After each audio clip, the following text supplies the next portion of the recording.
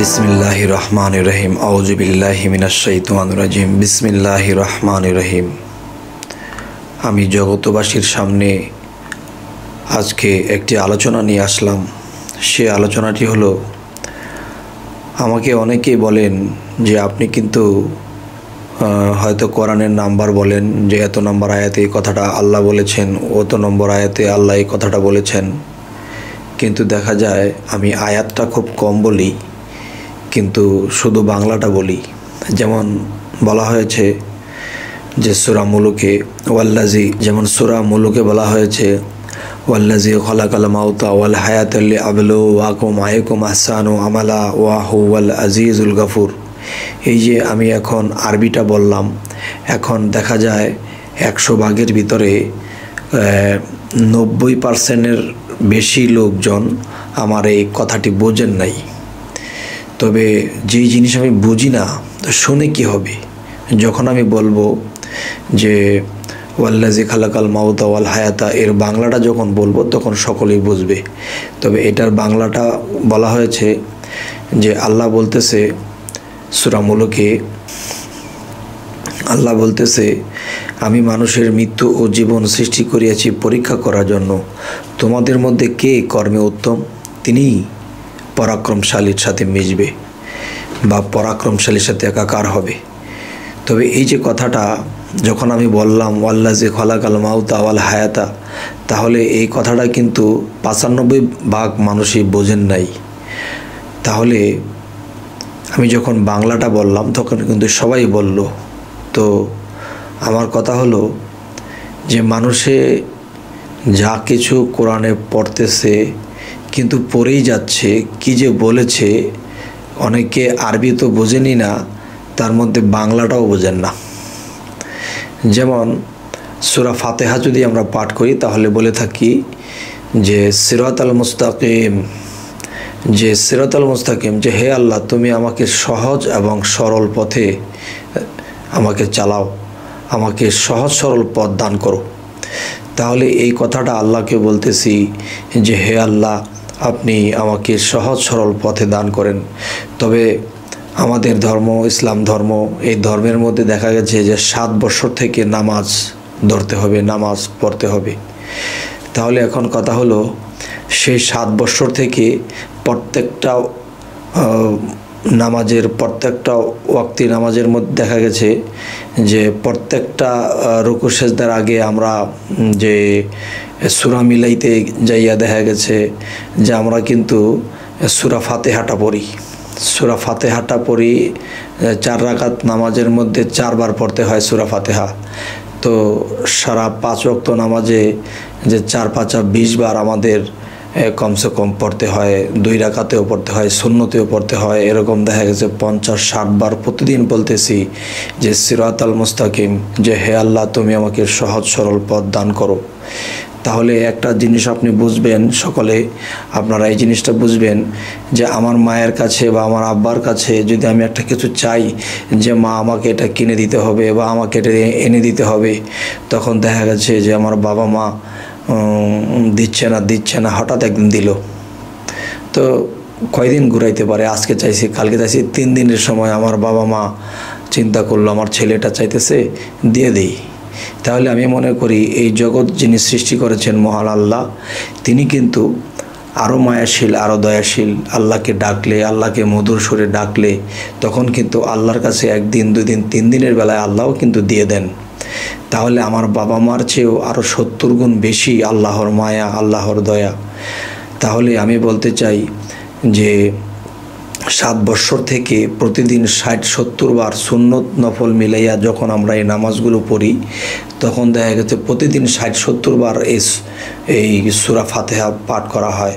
তাহলে দেখা গেছে প্রতিদিন আমরা এই সুরা পাঠ করতেছি সিরাত আল মুস্তাকিম সিরাত আল মুস্তাকিম, যে হে আল্লাহ আমাকে সহজ সরল পথ দান করো।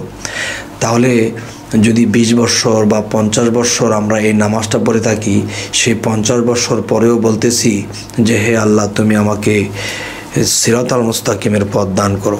আর সেই সিরাতাল মুস্তাকিমের পথটা কি? সহজ এবং সরল পথ। তাহলে সেই সহজ সরল পথ আল্লাহর কাছে সেই সাত বছর বয়স থেকে চেয়ে আসছি। যদি আমি আমার বাবা মায়ের কাছে চেয়েছি যে, বাবা, আমার এই জিনিসটি লাগবে আমাকে দেন, একদিন, দুদিন, তিন দিনের বেলায় আমাকে দিয়ে দিছে, ব্যবস্থা করে দিয়ে দিছে। দেওয়ার পরে কিন্তু আর আমি বলি নাই যে, আমাকে এটা দেও। তাহলে আমি যে আজকে সাত বছর বয়স থেকে যে পড়তেছি প্রতি ওয়াক্তে ওয়াক্তে যে সিরাত আল মুস্তাকিম, সিরাত আল মুস্তাকিম, হে আল্লাহ, তুমি আমাকে সহজ সরল পথ দান করো। কিন্তু ষাট, সত্তর বছর নামাজ পড়লাম, শুধু চেয়েই আসলাম আল্লাহর কাছে যে, আল্লাহ, তুমি আমাকে সহজ সরল পথ দান করেন। তবে যদি দান করতো, তবে তো আর আমার চাওয়া দরকার হইতো না। তাহলে শুধু চেয়ে যাচ্ছি, তাহলে পাচ্ছি না। তাহলে আসলে এখানে একটা চিন্তা করার বিষয় যে আল্লাহ তো অত কঠোর নয়। আল্লাহকে মধুর সরে ডাকলে একদিন, দুদিন, তিন দিনের বেলায় আল্লাহ এটা ব্যবস্থা করে দিয়ে দেয়। আমার বাবা মাও কিন্তু দেরি করেন নেই। তো আমার বাবা মার থেকেও যদি আল্লাহ সত্তর গুণে মায়াদশীল, দয়াশীল বেশি হয়ে থাকে, তাহলে তো আল্লাহ এটা আমাকে দিয়ে দেবে। কিন্তু যদি দিয়ে দেয়, তাহলে তার চাওয়ার দরকার নেই। আর যদি না দেয়, তবে চাইতেই আসি মানুষ কয়দিন চায়? যাই হোক এই কথাটা আমি কোনো বিপক্ষে বলতে চাইনি বা বিপক্ষে বলার জন্য আমি এই কথাটা উত্থাপন করছি না। আমি একটা জিনিস বোঝার জন্যে এই কথাগুলো বলতেছি। তো হয়তো আমাদের চাওয়া হয় না, আর না হয়তো আমরা সেই মধুর কণ্ঠে, চোখের পানির সাথে আল্লাহর কাছে চাইতে পারি না, তাই আল্লাহ আমাদেরকে সুপথ দেয় না। তবে একটা বিষয় হলো যে, এই কোরআন শুধু মুসলমানের জন্য আসে নাই, সমস্ত মানব জাতির জন্য এই কোরআনটা আল্লাহ পাঠাইছেন যে কোরআন বুঝতে গেলে হিন্দু, বৌদ্ধ, খ্রিস্টান নাই। সকল স্তরের লোক, সকল ধর্মের লোক এই কোরআনটাকে বুঝতে পারবে। আর এই কোরআন আমাদের আসমানি কিতাব, তা আসমানি কিতাব কিন্তু আরও তিনটি আমাদের মানতে হয়। যেমন আরও দেখা যায় যে একশো চারখান কিতাব একশো চারখান কিতাবের মধ্যে এই চারটা কিতাবের দিকে যদি আমরা লক্ষ্য করি, তাহলে আমরা ইনশাল্লাহ আল্লাহর বেদ, রহস্য, আল্লাহ পর্যন্ত পৌঁছাইতে আমরা পারব। আর দেখা গেছে হিব্রু ভাষায় কোনো কিতাব নাজিল হয়েছে আরবি ভাষায় নাজিল হয়েছে তো বিভিন্ন ভাষায় নাজিল হয়েছে ওগুলা যদি আমি পড়ি, আমি তো বুঝি না। তো বাংলায় আমরা জন্ম নিয়েছি, কিন্তু দেখা গেছে যে কোরআনটা যদি আমরা বাংলায় পড়ি, তাহলে আমরা বুঝতে পারি। যাক, এই এই গেল একটা বিষয়। আরেকটা বিষয় হলো যে একটা বিষয় যে নামাজ পড়তে গেলে আমরা কিন্তু নামাজের মধ্যে আল্লাহ ব্যতীত কাউকে স্মরণ করতে পারব না। আল্লাহ ব্যতীত কাউকে মনে করতে পারব না, কারও নাম মুখে বলতে পারব না। যদি আল্লাহ ব্যতীত অন্য কিছুকে স্মরণ করি তাহলে আমার কি হবে? সেরেক করা হবে। আর আল্লাহ বলেছেন যে, অন্য অন্য গুনার মাপ আছে কিন্তু সেরিকে গুনার মাপ নাই। তাহলে সেই সেরিকেটা কি? যেমন আমরা বুঝি না বিদায়, আজকে এরকম পড়তেছি। যেমন বলা হয় তাব্বাত ইয়াদা আবিল হাবি ওয়া তাব্বা মা আগনা আনহু মালহু ওয়া মা কাসাব। সায়াসলা নারন জাত আল হাবি উমরা আতহু হাম্মালাত আল হাতাব। এই যে কথাগুলো বলেছি, কি বলেছি? যখন বাংলা পড়তে যাই তখন দেখা যায়, ধ্বংস হোক আবুল আহাব, ধ্বংস হোক আবুল আহাবের দুই হস্ত, ধ্বংস হোক আবুল আহাবের সঞ্চয়কৃত ধন সম্পদ। তাহলে আল্লাহ যদি বলে থাকে, নামাজে দাঁড়াইয়া আমি আল্লাহ ব্যতীত কাউকে স্মরণ করা যাবে না, কারও নাম মুখে নেওয়া যাবে না। এখন দেখা গেছে আমরা কি বললাম? যে তাব্বা তিয়াদাবিল হাবি ও তাব্বা মা আগনা আনহু মালহু আমাকাসাব যে ধ্বংস হোক আবুল আহাব ধ্বংস হোক আবুল আহাবের দুই হস্ত, ধ্বংস হোক আবুল আহাবের সঞ্চয়কৃত ধন সম্পদ, তাহলে আল্লাহর নামে দাঁড়াইছি, একমাত্র আল্লাহ ব্যতীত কাউকে স্মরণ করা যাবে না, কারও নাম মুখে নেওয়া যাবে না। কিন্তু দেখুন, আমরা এই নামাজে দাঁড়াইয়া সে আবুল আহেব একজন, আবুল আহাব একজন কাফের ছিল। আল্লাহকে এবং আমার হরজত মোহাম্মদ সাল্লাহ আলাইসাল্লামকেও তিনি মানেন নাই, তাকে অত্যাচার, নির্যাতন করেছেন। তো পৃথিবীতে কোনো অলিয়া উলিয়ার নামও নেওয়া যাবে না নামাজে দাঁড়াইয়া। সে জায়গার ভিতরে একটা কাফের নাম নিতেছি। তবে আজকে এটা কেন হইতেছে? এটা এই কারণেই হইতেছে যে আমরা বাংলা ভাষায় জন্ম নিয়েছি, আরবি তো বুঝি না। আর আরবি যারা বোঝে, তারাও কিন্তু আমার যেই কথাগুলো, এগুলো কিন্তু তারা খোঁজে না।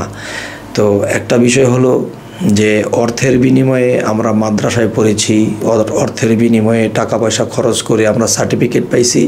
এখন আবার দেখা যায় যে টাকার বিনিময়ে মানুষদেরকে পড়াইতেছি।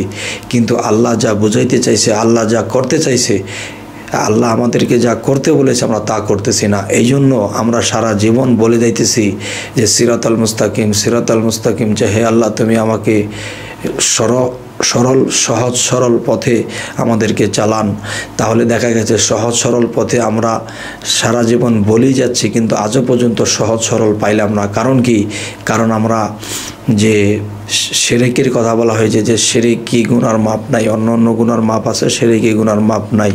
তাহলে দেখা গেছে আমরা যে যে প্রত্যেকটা কদমে কদমে প্রত্যেক প্রত্যেকটা কথায় কথায়, প্রত্যেকটা জায়গায় জায়গায় আমরা সেরে কি করতেছি?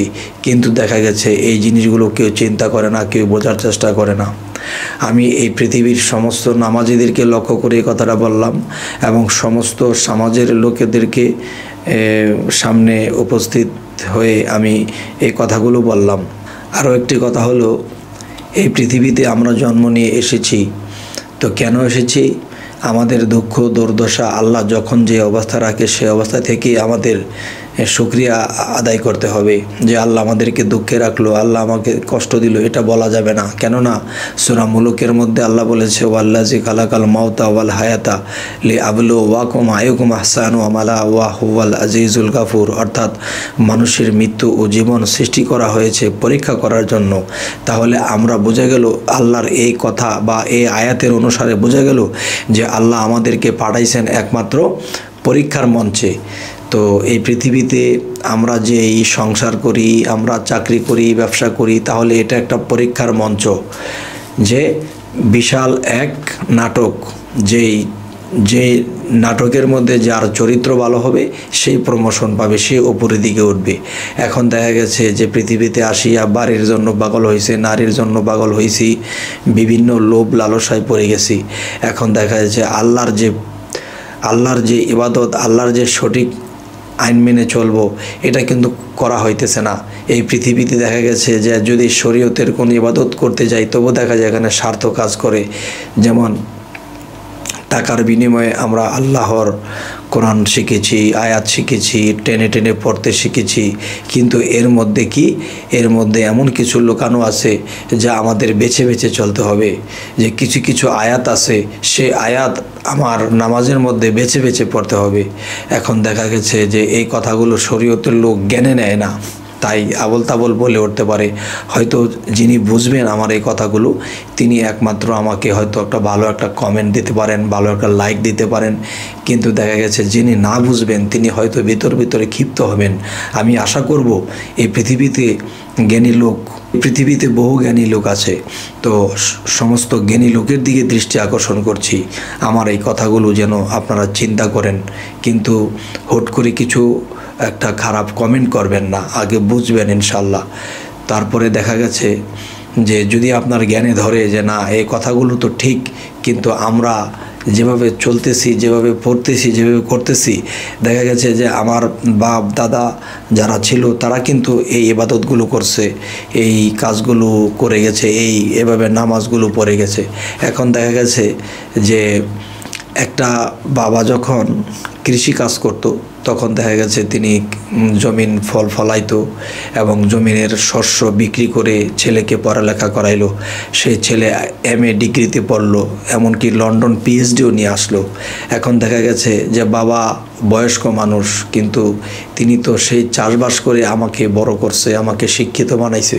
কিন্তু দেখা গেছে যে ওই শিক্ষিত ছেলেকে এখন বাবা কী জ্ঞান দেবে? এখন সেই ছেলে তো অল সাইড শিক্ষা নিয়ে আসছে। তবে বাবা যে এত কষ্ট করে লেখাপড়া করেলো এর সম্মান তো অবশ্যই দিতে হবে। কিন্তু এখন ছেলে যে জ্ঞানী হয়েছে এই জ্ঞান কিন্তু বাবার নেই। তবে বাবার একটা জ্ঞান আছে যে তিনি কি করে কি করে তাদেরকে এই পর্যন্ত বড় করলেন, এ পর্যন্ত পড়ালেখা করাইলেন। হ্যাঁ এই জ্ঞানটা আছে এবং এইগুলো করেই এই ছেলেকে পড়ালেখা করাইলেন। তো আমার কথা হলো যে যে জিনিসটা আমি বোঝাইতে চাইতেছি, যে জিনিসটা আমি বোঝাইতে চাইতেছি সেই জিনিসটা হলো যে, আমরা আমাদের বাপদাদা কি করেছিল, আমার বাপদাদাদের মতো আমি চলতে পারব না। এখন আমাদের যেই শিক্ষার হার, যেমন বলা হয়েছে, এক সময় বাংলাদেশ ছিল একরকম, এখন ডিজিটাল বাংলাদেশ। ঠিক প্রত্যেকটা জিনিসের ডিজিটাল হয়েছে, প্রত্যেকটা জ্ঞানের আপডেট ঘটেছে। তো এখন দেখা গেছে যে সেই পূর্বের জিনিস তারা কীভাবে কি করেছিল, ওগুলো আমরা ধরে রাখব। তা না। আমাদের দেখতে হবে যে আমরা কোন কাজগুলো সঠিক করতেছি এবং কোন কাজগুলো আমাদের ভুল করতেছি এবং আমাদের জ্ঞানের দ্বারা রিচার্জ করতে হবে। তো আজকে দেখা গেছে যে হজরত মোহাম্মদ সাল্লাহু আলাইসাল্লাম যখন মেরাজে গিয়েছিলেন, সেই মেরাজে যাওয়ার পরে কিন্তু আল্লাহ যখন দেখতেছে, দোস্ত, আপনি আমাকে দেখেছেন, আপনার সাথে আমার সাক্ষাৎ হয়েছে, মোলাকাত হয়েছে, এখন আপনি পৃথিবীতে ফিরে যাবেন, কিন্তু এখন আপনার চোখে পানি কেন? তখন হজরত মোহাম্মদ সাল্লাহু আলাইসাল্লাম বলতে লাগলেন, হে আল্লাহ, আমি আপনাকে দেখেছি, আপনার সাথে আমার মোলাকাত হয়েছে, আমার একটা দুঃখ যে আমার উম্মতে আপনাকে এভাবে দেখবে না, এভাবে মোলাকাত করবে না, এভাবে সাক্ষাৎ হবে না। এই দুঃখে আমি কান্দি। তখন আল্লাহ বলতেছে, হে দোস্ত, আপনি আমাকে কয়বার দেখেছেন? তখন নবীজি বললেন যে, একবার। তবে আপনাকে যে পাঁচ ওয়াক্ত নামাজ দেওয়া হয়েছে, এই পাঁচ ওয়াক্ত নামাজে আপনার উম্মতে আমাকে দেখবে পাঁচবার। তাহলে যখন এই কথা শুনল নবীজি, তখন নবীজি খুশিতে তিনি চোখের পানি মুছে বলল যে হে আল্লাহ, আমাকে বিদায় দিন, আমি পৃথিবীতে যাই। তখন আমার এই কথাটি বোঝাতে চাইতেছি যে আল্লাহর সাথে যখন নবী কথা দিছে, আল্লাহ কি কখনো মিথ্যা বলেন? বলেন না। তবে আমরা কি আল্লাহর সাক্ষাৎ পাইছি? এই নামাজে কি আল্লাহর মেরাজ হয়েছে হয় নাই। তবে হয় নাই কেন? নিশ্চয়ই আমাদের নামাজ হইতেছে না, ভুল হইতেছে। আর যদি বলা হয় যে, না, আমরা তো সঠিক করেই পড়তেছি। সঠিক করে পড়লে আমরা কেন দেখতে পাই না বা আল্লাহর সাথে আমার মেরাজ কেন হয় না? তাহলে বোঝা গেল যে, আল্লাহও সঠিক বলেছে, কিন্তু আমার ইবাদত বা আমার যে নামাজ হয়তো হচ্ছে না। না হওয়ার কারণে আজকে আমাদের সাথে আল্লাহর সাক্ষাৎ হচ্ছে না বা আল্লাহর সাথে মেরাজ হচ্ছে না। তবে এই কথাগুলো বলার উদ্দেশ্য হইল যে সাত বছর থেকে যখন নামাজ ধরেছি, এ পর্যন্ত নামাজ পড়ে এসেছি, কিন্তু আল্লাহর মেরাজ হয় নাই। তবে মেরাজ কেন হইল না? তো এই চিন্তা করে, এই রিচার্জ করে যখন কোরআনটাকে ভালো করে একটু দেখার চেষ্টা করলাম, বোঝার চেষ্টা করলাম, তখন দেখা যায় যে কোরআনে তো আল্লাহ ঠিকই বলেছে, কিন্তু আমরা তো সেই কোরআনের মতে নেই। দেখা যায় যে আমরা এই তাব্বা তিয়াদা আবিলা হাবি ও তাব্বা মা আগানা আনহু এগুলা পাঠ করতেছি। এর মধ্যে দেখা গেছে যে আল্লাহকে বাদ দিয়ে আমি কাফেরকে স্মরণ করতেছি। আমি আল্লাহকে বাদ দিয়ে অন্য কাউকে, অন্য কারোর নাম মুখে নিতেছি। তখন যে জায়গায় সোয়াব হবে, যে জায়গায় মেরাজ হবে, সে জায়গায় কি? আরও আমরা আল্লাহর কাছে লানত নিয়ে আমরা ফিরছি। তবে কি আমাদের এই এবাদত হইতেছে? তবে সমস্ত মানুষের কাছে আমার এটাই জিজ্ঞাসা যে আমার কথা কি আপনাদের অন্তরে লাগল বা জ্ঞানে ধরলো? যদি ধরে জ্ঞানে, তাহলে হয়তো আমাকে কমেন্টে জানাবেন। আর যদি বলেন যে না, কথাগুলো ঠিক নয়, তখন আমি নিজেকে ঠিক করার চেষ্টা করব। তবে আজকে যে আলোচনাগুলো করলাম আমাদের এই আলোচনাগুলো যদি আপনাদের ভালো লাগে, তাহলে আমার এই চ্যানেলটি সাবস্ক্রাইব করুন। তাহলে আরও কিছু ভিডিও আপনাদের সামনে উপস্থিত হবে ইনশাল্লাহ। আজ এই বলেই রাখছি। সকলে ভালো থাকবেন। আল্লাহ হাফেজ।